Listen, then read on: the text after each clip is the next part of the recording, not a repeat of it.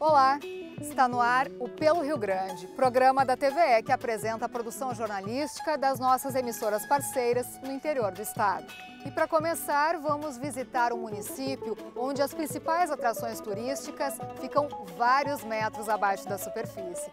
São as minas de Ametista do Sul.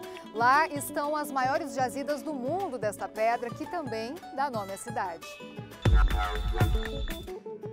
Aqui, para conseguir trabalhar, é necessário explodir. E o turista pode ajudar na tarefa. A Karine é de Erechim, mas vive em Cascavel, no Paraná. Ela veio com a família conhecer como é o trabalho de um garimpo. Eles mostraram a explosão pra gente, foi um barulho intenso, né, muito forte. Foi muito legal, vai ficar pra minha vida. O irmão da Karine também ajudou na detonação. O grupo de turistas curtiu experiências únicas aqui na mina, mas isso eu conto daqui a pouco. Antes, vamos falar de outro local, um dos pontos mais visitados em Ametista do Sul, a Igreja de São Gabriel, a primeira igreja com revestimento interno em pedras preciosas no mundo. O local é belíssimo. As paredes têm 40 toneladas de pedra ametista. O teto é pintado à mão e tudo aqui lembra a extração da pedra. A pia batismal, os acervos sagrados, tudo impressiona. A primeira impressão que eu tive é apaixonante. A igreja é lindíssima. Quisera Deus manter isso infinitamente, muitos e muitos anos, porque é encantador. Não tem palavras para expressar outras da beleza que é isso aqui.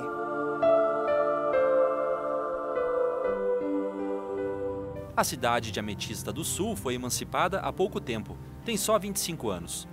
Conta com cerca de 7 mil habitantes e tem na Pedra Ametista quase 80% da economia. O restante se resume à agricultura, produção de vinho e turismo. Aí eles abriam as cavas, né? E perceberam que ali encontraram minerais maiores, né? Com uma formação maior, uma cor mais valiosa. Então eles começaram a iniciar a extração da pedra preciosa. Alguns olheiros, como se diz assim, perceberam o valor daquela pedra e começaram a comprar, mas eles não davam muita importância. Eles compravam realmente o que tinha uma coloração mais escura, o que seja de boa qualidade. O restante era descartado. Hoje não se descarta mais nada, tudo é aproveitado. Esta pirâmide aqui no município é toda revestida da pedra ametista. Ela faz a ligação do céu com a terra. E ela tem uma base quadrada e quatro pontos bem específicos. Esses pontos significam a verdade, a inteligência, o silêncio e a profundidade. Esta pirâmide fica bem na praça central da cidade e é conhecida como pirâmide esotérica. Para os que acreditam, o local sustenta o poder mágico de alguns minerais.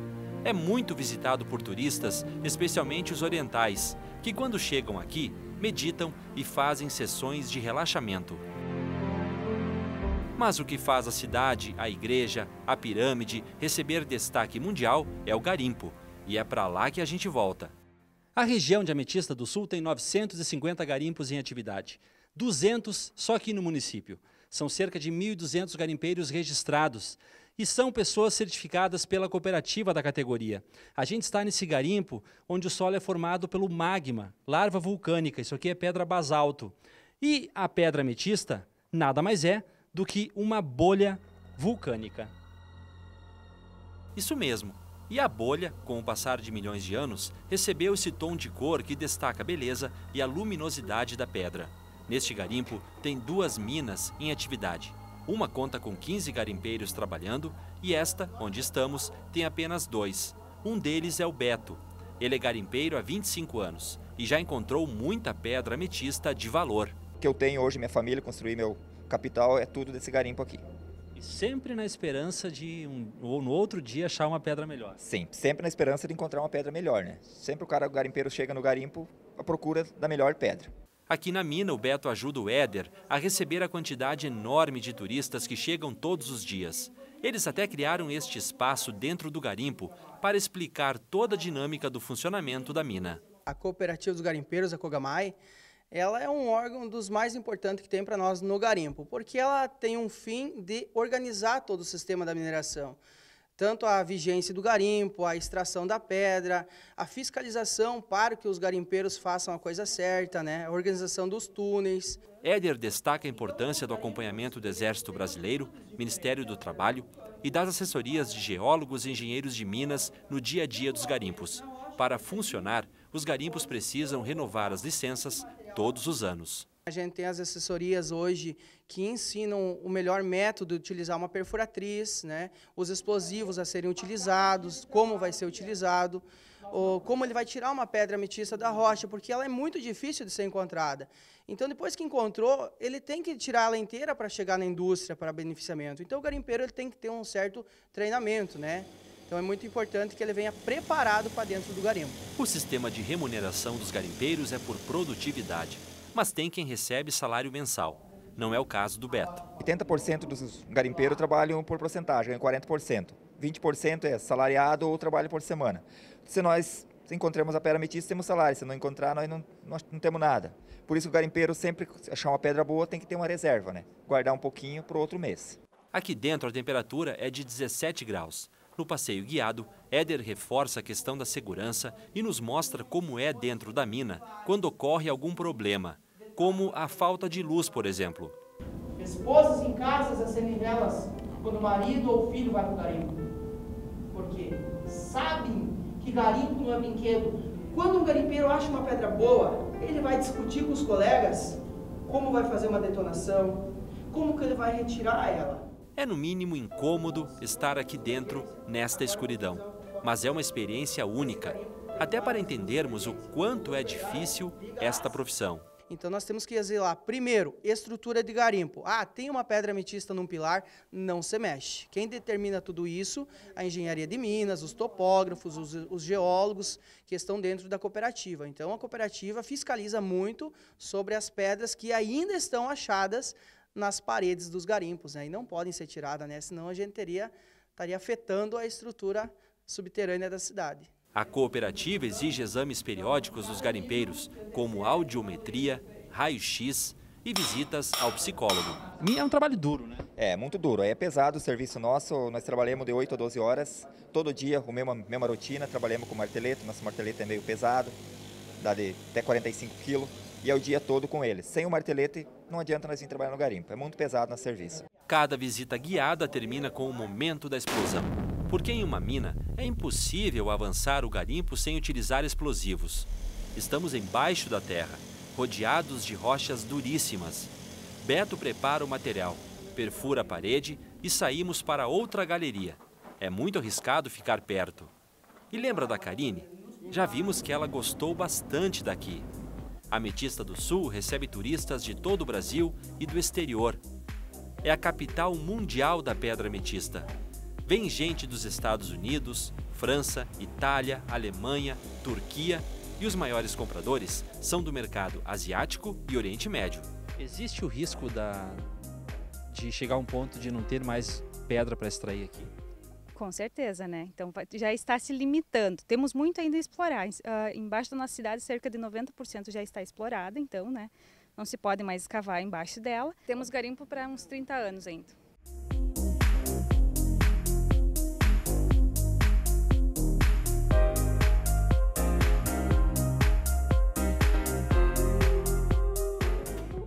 próximo bloco, ideias que podem transformar o centro de uma cidade. Voltamos já já.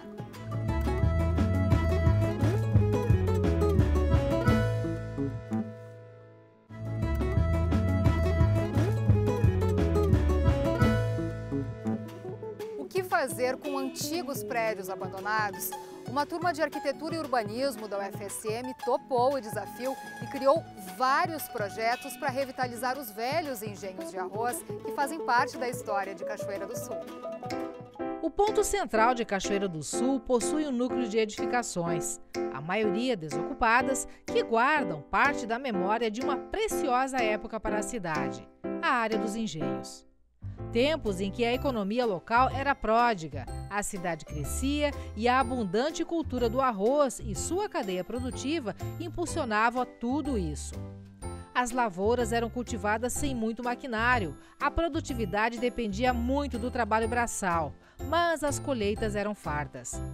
A existência dos engenhos para o processamento do cereal foi uma consequência natural.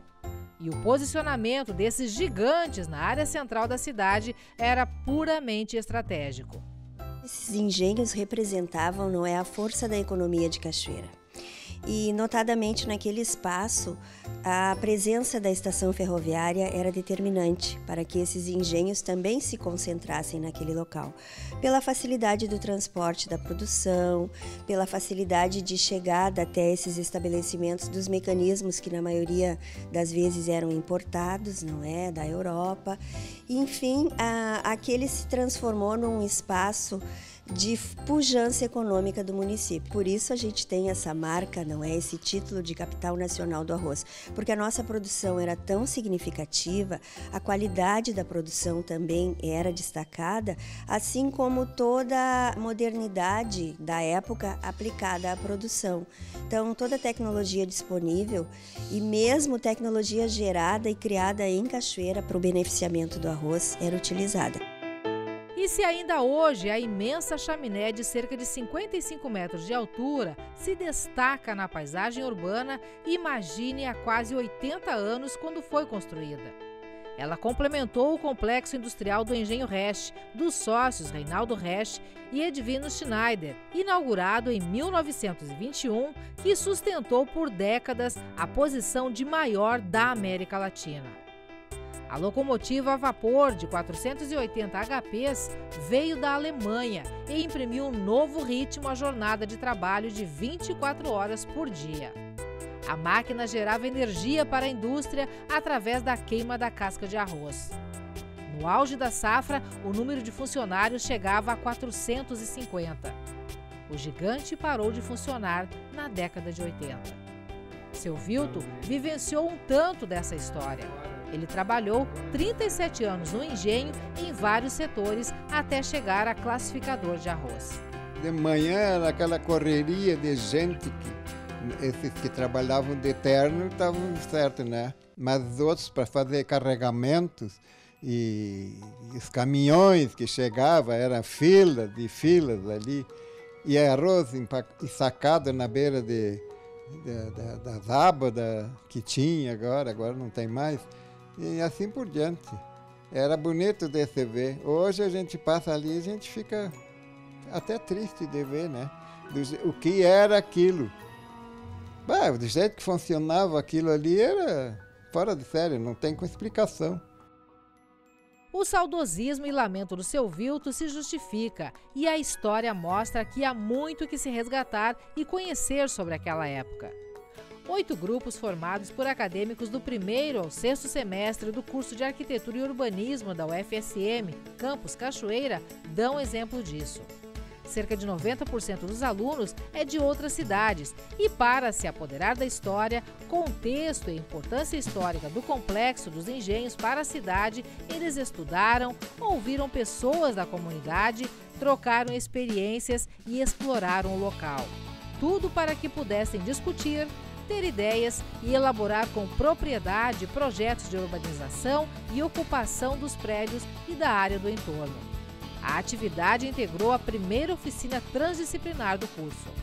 Então, quando a gente pensou em que área a gente poderia trabalhar, a gente queria uma área que envolvesse tanto a questão do patrimônio, a questão do espaço urbano, de preservação, então que abarcasse tanto arquitetura, paisagismo, urbanismo e o patrimônio que a gente acha tão essencial uma discussão tão essencial aqui em Cachoeira. Houve esse processo uh, de imersão mesmo em relação ao, ao tema, onde os alunos passaram por diversas metodologias que aproximaram eles de, a, através de visitas ao local e de discussões, reflexões, entrevistas e, e dinâmicas feitas entre eles e entre eles com a comunidade. Então eles também foram para essa região dos engenhos e para as praças centrais conversar com a comunidade entender um pouco mais dessa dinâmica de como era o funcionamento dos engenhos enquanto eles estavam ativos e o que hoje, é, a situação em que eles se encontram hoje, é, qual é o impacto, qual é a sensação que a comunidade cachoeirense tem em relação a isso. Após a conclusão dos projetos, das planilhas e maquetes, surgiram diferentes opções de espaços para a mesma área, cada um com uma diretriz ou visão de passado presente ou tudo mesclado, mas sem a perda de identidade do local. Em termos de pesquisa, foi observado que um pessoal comentou que a área dos engenhos seria uma, uma cicatriz na cidade, que foi uma proposta que ficou abandonada no tempo e que o pessoal sente um saudosismo muito grande quando passa por aquela área. Então a gente se apropriou dessa, dessa diretriz e quis trazer a manter a identidade histórica e trazer a integração do pessoal jovem que, que usa aquele, aquele espaço ali, mas que a proposta em si retratasse a identidade histórica, realmente, frisar bem isso, e trazer um atrativo, que seria a pista de skate, um café memorial, a proposta do nosso projeto. Um outro grupo atentou para a utilização social dos pavilhões dos engenhos. Uma das ideias é que esta grande área aqui seja ocupada por uma grande horta comunitária, a ser cultivada por moradores do Beco dos Trilhos e também pessoas da comunidade. A produção seria vendida ali naquele prédio, um grande mercado público municipal. É, a gente procurou abrigar o mercado, dar esse uso a um pavilhão, justamente pelos outros usos que a gente propôs em outros pavilhões, que seriam os ateliês, as oficinas para trabalho de trabalho artesanal ou então um centro profissionalizante, porque inclusive durante o workshop a gente percebeu, a gente conversando com as pessoas, algumas uh, mencionaram a questão do emprego, a capacitação profissional. Então a gente disponibilizaria essas áreas a profissionalização, capacitação das pessoas para que elas pudessem ter uma fonte de renda. E mais uma vez, quase que abusando um pouco do processo de criatividade, já que tiveram toda a liberdade para isso, os acadêmicos tiveram uma outra ideia: utilizar esse prédio, por exemplo, como um núcleo habitacional que seria ocupado principalmente por moradores do Beco dos Trilhos, para que eles tivessem uma maior inserção social e também pudessem participar em nível de igualdade de todas as atividades que seriam desenvolvidas aqui neste amplo centro cultural. Creche numa praça, tem uh, clube social, são várias ideias diferentes que vocês propõem para aquele local.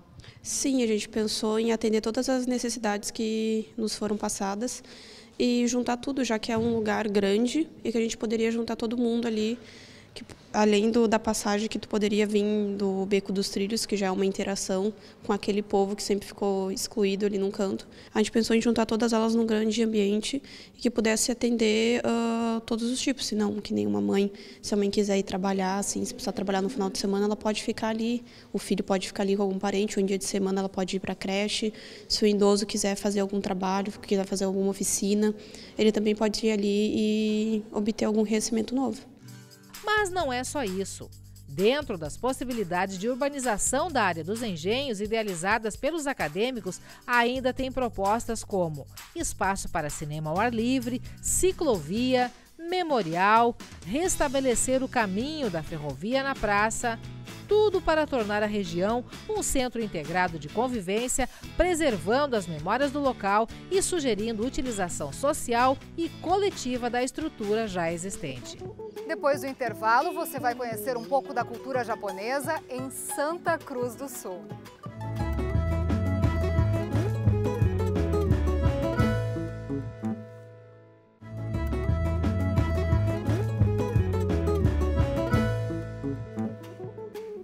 Instrumentos de sopro mais tradicionais da cultura japonesa ganha adeptos em Santa Cruz do Sul. É o shakuhachi, uma flauta de bambu que no Japão feudal era utilizada por monges e por samurais. Não, não fomos até o Japão. Esta é uma aula de shakuhachi aqui na Unisc mesmo. Claro que este workshop contou com a presença ilustre do professor e mestre de shakuhachi, Akio Yamaoka. Nascido na província de Akita, no Japão, o sensei, que reside e leciona em São Paulo, garante que a arte de tocar shakuhachi ainda é recente no país. Faz 20 anos, mais ou menos, brasileiros começaram a aprender. Uns foram para aprender no Japão, outros aprenderam aqui. Este é um dos instrumentos mais tradicionais da cultura japonesa. O shakuhachi pode parecer, à primeira vista, um instrumento bastante simples. Mas não se engane. Requer uma técnica de embocadura refinadíssima para ser tocado de maneira correta. E para aprender, é preciso praticar por bastante tempo. Mínimo precisa três anos para tocar razoável, não bem ainda. Cinco anos diante já tornar-se muito bem. Né? Para tornar como mestre, na verdade, precisaria 10 anos. O shakuhachi já foi utilizado como instrumento artístico, ferramenta religiosa e até arma de combate. No Brasil, ainda é pouco utilizado, mas aqui em Santa Cruz do Sul tem uma galera que está aprendendo a tocar o instrumento de sopro mais difícil do mundo. E o professor é santa cruzense. Henrique Sulzbacher já é considerado uma referência no país. O shakuhachi, eh, como qualquer instrumento, assim, tem a questão do, de uma certa disciplina e de não abandonar o barco na, na primeira dificuldade, né? Eh, no meu caso foi bem gradual, que eu aprendi, como eu aprendi fabricando e fazendo ao mesmo tempo junto, fiz muito no erro e no acerto. Mas eu estou bem surpreso assim com o pessoal que está estudando no grupo, assim, porque em questão de meio ano a gente avançou muito, deu vários passos largos, bem dizer, né? E a gente já está começando a tocar as primeiras músicas, né? E realmente, assim, é um instrumento muito difícil, porque com cinco furos a gente pode tocar toda uma escala cromática, pode tocar música ocidental, pode tocar bar, né? E ao mesmo tempo tem toda essa gama de sons japoneses que para tirar exige uma, uma, uma, sensibilidade, assim, e a questão da, da técnica mesmo, né? Envolve uma musculatura fina, é, é, é uma coisa de, de, um, de um convívio bem é, intenso, assim, para tu chegar num, num, ponto legal e, e, não desistir nesse meio do caminho. Né? No grupo do professor Henrique, são 10 alunos. Aos poucos, a harmonia e serenidade da flauta dos monges budistas e samurais começa a ganhar repertórios e estilos bem brasileiros.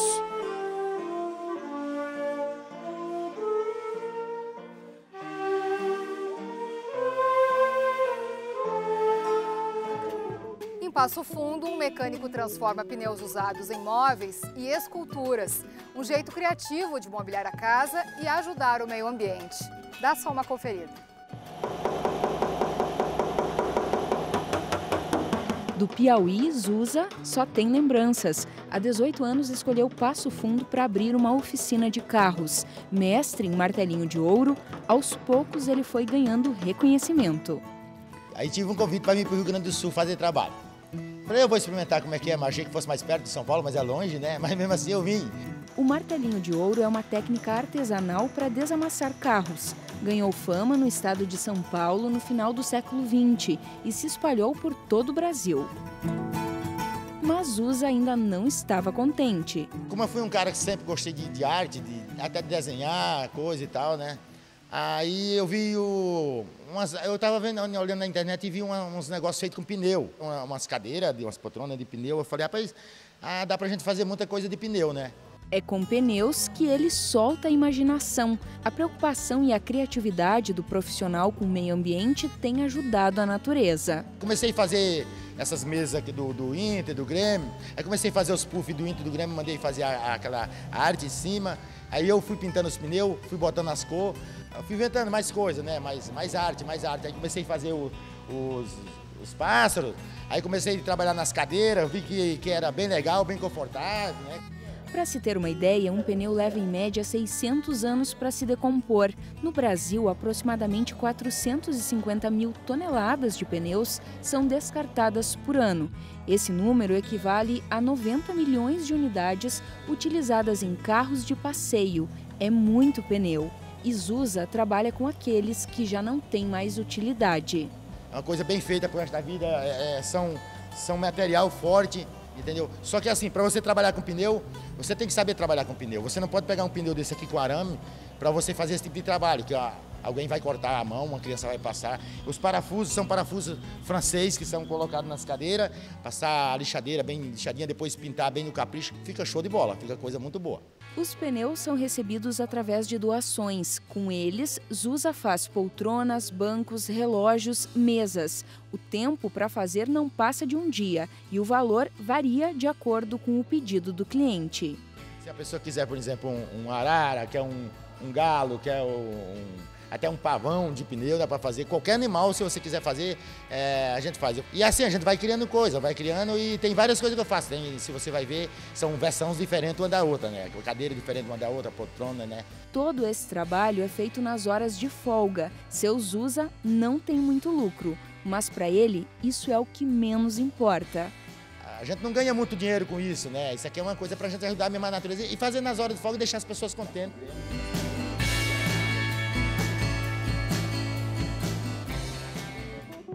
Gente volta na próxima semana mostrando um pouco mais do que acontece pelo Rio Grande. Até lá!